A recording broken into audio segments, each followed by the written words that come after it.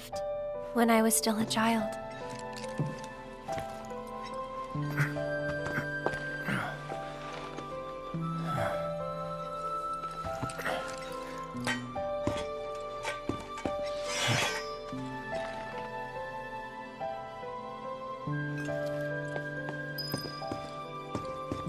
My mom and I stayed here years ago when I was just a little girl. The room looks exactly the same.